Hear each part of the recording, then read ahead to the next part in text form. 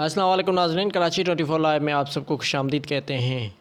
तो कराची वालों, बहुत ही बड़ी अपडेट आपको देंगे। बादल बनना शुरू हो चुके हैं कराची के अतराफ़ के इलाकों में। इसके अलावा सिंध के मुख्तलिफ़ इलाकों में बादल बनने का अमल शुरू हो चुका है और अगले चंद घंटों के दौरान किन किन शहरों में कितनी शिदत की बारिशें होंगी, इसकी मुकम्मल तफसीत हम आपको बताएँगे। उससे पहले आपसे सिर्फ़ छोटी सी गुजारिश करते हैं, इस वीडियो को लाइक करें, चैनल को सब्सक्राइब करें और बेलाइकन दबा दें ताकि मौसम की लम्हा ब लम्हा अपडेट आप तक पहुँचाई जा सके।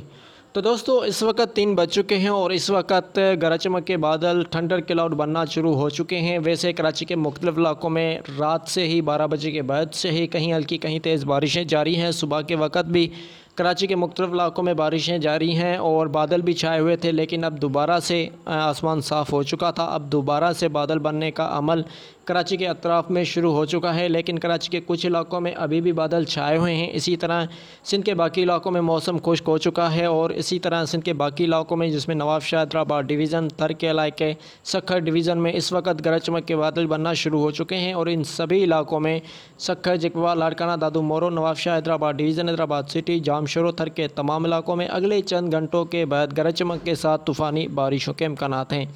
कराची की बात करें तो कराची के अतराफ़ में ख़ास तौर पर बदिन, ठट्ठे के टी बंदर, इन इलाकों में गरज चमक के बादल बनना शुरू हो चुके हैं। वहाँ पर ये बारिशें दे रहे हैं और रात को जो बारिशें आई थी, वो भी यहीं से आई थी और एक बारिश आई थी, वो हैदराबाद से आई थी, नूरियाबाद पे।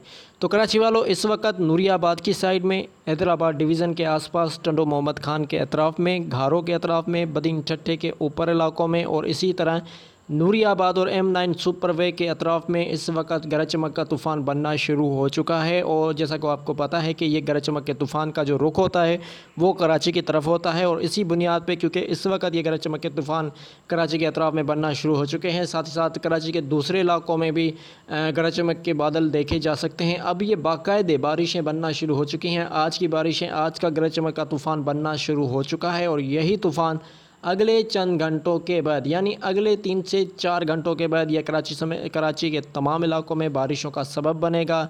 कराची के सौ फ़ीसद इलाकों में, जैसा कि पिछली अपडेट में हमने आपको बताया था, उन सभी इलाकों में अब अगले चंद घंटों के बाद गरज चमक के साथ बारिशों का इम्कान है और अगले चंद घंटों के बाद इन सभी इलाकों में गरज चमक के साथ मूसलाधार तूफ़ानी बारिशों के इम्कान हैं और हम आपको बताते चलें कि अगले चंद्र चंद्र घंटों के बाद जो बारिशों का स्पेल शुरू होगा कराची में, वो तीन से चार घंटे तक जारी रह सकता है और उसमें गरज चमक भी होगी और बारिशों की मकदार 50 मिलीमीटर तक है। इसी तरह सिंध के दूसरे इलाकों में भी 30 से 40 मिलीमीटर तक बारिशें हो सकती हैं।